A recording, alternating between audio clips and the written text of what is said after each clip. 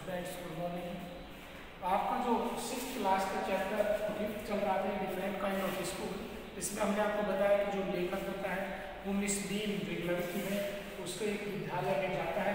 और ये पता करने के लिए कि वो अलग प्रकार का विद्यालय किस प्रकार से है। ऐसा वो जानने के लिए लोग केवल पहले सुनता है किसी से, लेकिन फिर एक वो स्वयं इन सब चीज़ों के बारे में जानना चाहता है कि वो अलग प्रकार का विद्यालय कैसे है। कल हमने पढ़ा था कि जो लेखक हैं, वो वहाँ पर मिस भीम से मिलते हैं और जब वो कल वहाँ पर विद्यालय में जाते हैं तो मिस भीम के माध्यम से उन्हें किस प्रकार से विचारों की विचारशीलता उद्देश्यों के बारे में पता चलता है, आज हम उससे थोड़ा सा आगे अगला पैसे प्रारंभ करते हैं। तो बच्चों, मैं प्रारंभ करता हूँ। तो देखो, यहाँ पर लेखक सबसे पहले अब क्या कह रहा है, देखो I went to the window which overlooked at large garden and at the I went to the window I मानी वेंट वेंट मानी गया टू द विंडो मानी खिड़की के पास। लेखक ने क्या कहा? कि मैं खिड़की के पास गया which which overlooked a large garden and a playground at the back back का मतलब होता है पीछे की तरफ़। प्लेग्राउंड होता है, खेत का मैदान। लार्ज ग्राउंड होता है लार्ज गार्डन होता है, बड़ा सा बगीचा। तो क्या कहा? मैं खिड़की के पास गया which overlooked a large garden जिसके बाहर एक बड़ा बगीचा और क्या था? And playground at the back और सबसे पीछे एक खेल का मैदान दिखाई दिया। लेखक ने कहा कि जब मैं खिड़की के पास गया तो जिसके बाहर एक बड़ा सा बगीचा और सबसे पीछे एक खेल का मैदान दिखाई दिया। प्ले ग्राउंड मानी खेल का मैदान एट द बैक मानी पीछे की तरफ़ दिखाई दिया। What do you see miss asked आप क्या देखते हैं? वाट माने क्या? डू यू सी सी माने तो देख। आप क्या देखते हैं? Miss Beam asked Miss Beam ने लेखक से पूछा कि आप क्या देखते हैं? I see some very beautiful grounds I माने मैं सी माने देख सम माने कुछ वेरी ब्यूटीफुल बहुत सुंदर ग्राउंड्स माने मैदान देख रहा तो मुझे कुछ बहुत सुंदर मैदान दिखाई देते हैं. किसने कहा? आई सैड मैंने कहा, मेरे लेखक ने कहा कि मुझे बहुत ही सुंदर मैदान दिखाई दे रहे हैं. And a lot of jolly children jolly होते हैं प्रसन्नचित और बहुत सारे बहुत सारे मुझे प्रसन्नचित बच्चे भी दिखाई दे रहे हैं and lot of jolly children बहुत सारे बच्चे भी मुझे दिखाई दे रहे हैं। It pains me though to see that they are not all so healthy and active looking आगे क्या कहा उसने? इट्स पेन में दो यद्यपि मुझे इट्स पेन में यह दुख देता है, यद्यपि मुझे यह देखने पर दुख होता है, क्या? कि they are not all so healthy and active looking कि वे सभी इतने स्वस्थ और सक्रिय नहीं दिखते हैं। एक्टिव का मतलब होता है सक्रिय और हेल्थी होता है स्वस्थ।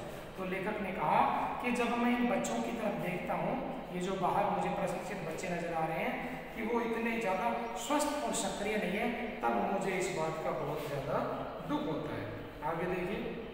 वैन आई केम इन जब मैं अंदर आया तो वैन मानी जब आई केम इन मैं अंदर आया तो मैंने क्या देखा?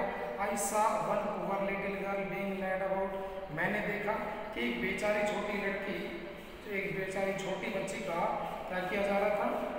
लेड अबाउट मार्गदर्शन किया जा रहा था. लेड अबाउट क्या होता है अब मार्गदर्शन किया जाता लेखक ने कहा कि जब मैं अंदर आया तो मैंने क्या देखा? एक बेचारी छोटी बच्ची का मार्गदर्शन किया जा रहा था. मतलब उसे कुछ बताया जा रहा था बस उसे मार्गदर्शित किया जा रहा था।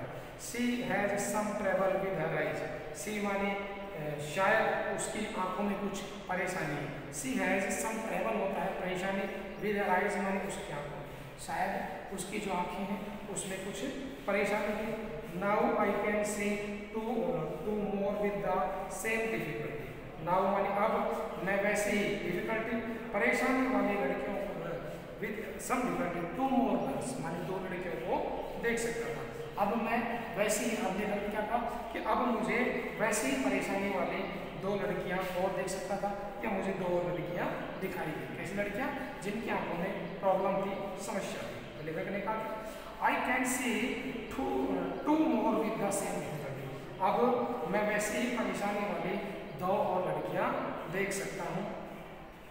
And there a girl with a crutch watching the others at play और एक लड़की. And and others and there's a girl with a crutch watching the others to play और एक ऐसी एक और लड़की है जिसने एक क्रच होता है बैसाखी लगा रखी है. क्या होती है? बैसाखी क्या होती है? जो अपन लगड़े बच्चे लेकर के चलते हैं. तो and there a good there a girl with a crutch watching the other play और फिर मैं क्या देख सकता हूँ कि एक लड़की और देखी मैंने जिसने एक बैसाखी लगा रखी she seems to be a hopeless player. जो दूसरों जो दूसरों को खेलती देख थी क्या करी थी watching the others to play जो कि दूसरों को खेलते हुए देख रही है, she seems to be a hopeless वह होपलेस होता है आशाहीन और क्रिपल होती है अपंग। वह एक आशाहीन अपंग लगती है। लेखक ने क्या कहा कि एक ऐसी लड़की मैंने देखी जिसने बैसाखी लगाए हुए थी और वह दूसरे बच्चों को खेलता हुआ देख रही थी, देख रही थी। और वह मुझे एक होपलेस आशाहीन क्रिपल माने अपंग लड़की लग रही थी। Miss Beam laugh, Miss Beam हँसी और नो, अरे नहीं, सी सैड, उसने कहा, उसने लेखक से कहा सी इज़ नॉट रियली वह वास्तव में लंगड़ी नहीं है सी इज़ नॉट रियली वह वास्तव में लंगड़ी नहीं है। This is only her lame today lame day आज केवल यह उसका लंगड़ा बनने का दिन this is only her lame day आज उसके लंगड़ा बनने का दिन है।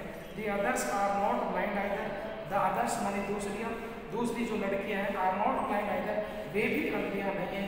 It is only their blind day आज केवल उनके अंधा बनने का दिन है। यानी कि वो केवल अंधा बनने का नाटक कर रही थी।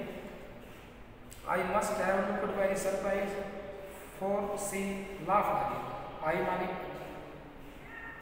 मैं बहुत आश्चर्यचकित दिखाई दी आई आई मानी मैं I must have looked very surprise मैं बहुत आश्चर्य से दिखाई दिया for the for she laugh लगे क्योंकि मैं एक बार फिर से हंसने लगी थी। क्योंकि जब मैं बहुत अधिक आश्चर्यचकित हुआ, जब मैं लड़की एक बार फिर से हंसने लगी।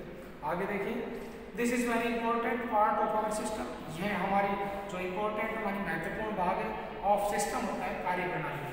तो यह हमारी कार्य प्रणाली का एक बहुत ही महत्वपूर्ण हिस्सा है, यानी कि जो हम ये ब्लाइंड का रोल कर रही हैं, या फिर ये जो क्रैश बैसाखी या फिर चल रही है, ये सब हमारा जो सिस्टम है, उसमें कार्य प्रणाली है, उसका एक महत्वपूर्ण हिस्सा है। I to make our children appreciate and understand misfortunate appreciate का मतलब होता है प्रशंसा करना और अंडरस्टैंड का मतलब होता है समझना। तो क्या कहा उसने? To make our children appreciate and understand misfortunate अपने बच्चों को दुर्भाग्य एप्रिसिएट और सराहना करना और उसे समझने के लिए हम उन्हें उस दुर्भाग्य में भी साझेदार बनाते हैं। उसने क्या कहा कि to make our children appreciate and understand misfortunate we make them share in misfortunate यानी कि हम अपने बच्चों को दुर्भाग्य की सराहना करना और उसे समझने के लिए हम उन्हें उस दुर्भाग्य में भी साझेदार बनाते हैं। यानी कि इस प्रकार का दुर्भाग्य किसी का भी हो सकता है तो हम इस प्रकार जो दुर्भाग्य है, उससे लड़ने के लिए बच्चों को इस प्रकार से प्रिपेयर करते हैं पहले से ही कि वो दुर्भाग्य की उस विडम्बना को स्वीकार कर लें और उसमें अपने साझेदार बने रहें। Each term every child has one blind प्रत्येक समयावधि में या प्रत्येक सत्र में each term each term every child has one blind प्रत्येक सत्र में प्रत्येक बच्चे का एक अंधा दिन होता है। वन लैम डे एक लंगड़ा दिन वन डीप डे एक बहरा दिन वन इंजर्ड डे एक घायल दिन एंड वन डम डे और एक गूँगा दिन होता है। देखा, उसने, बच्चे ने बताया कि प्रत्येक बच्चे का हमारी जो समयावधि है, उसके अनुसार एक दिन लंगड़ा दिन आता है, एक दिन बहरा दिन आता है, एक दिन उसका घायल होने का दिन आता है, एक दिन वो गूँगा बनता है। यानी ये सब हमारे सिस्टम में होता है। ड्यूरिंग द ब्लाइंड डे अंधे दिन के दौरान क्या क्या जाता है? Their eyes are bandage absolutely and they are on their honour not to peep during the और अंधे दिन के दौरान उनकी आँखों पर पट्टी बाँध दी जाती है। And they are on their honour not to peep और वे अपने सम्मान के लिए उसमें से झांकते या चोरी से देखते हैं। यानी कि जो बच्चे हैं, जब उनके बंधा मिलने का दिन आता है तो हम उनकी आँखों पर पट्टी बांधते हैं और वे चोरी करने के लिए अपनी पट्टियों के बीच में से चुपचाप ऐसा कुछ नहीं देख सकते तो बच्चों, इस प्रकार से आज का ये जो आपका लेसन का पैसेज है, ये कंप्लीट हुआ है। कल हम इससे आगे जो बच गया है, उसको कल पढ़ाएँगे। इसके वर्ड नहीं है तो हम आपको पी डी एफ़ फ़ाइल के रूप में सेंड करेंगे, जिन्हें आवश्यक रूप से आप इंग्लिश नोटबुक में ऐड करेंगे। तो बच्चों, आज के लिए इतना ही। थैंक्स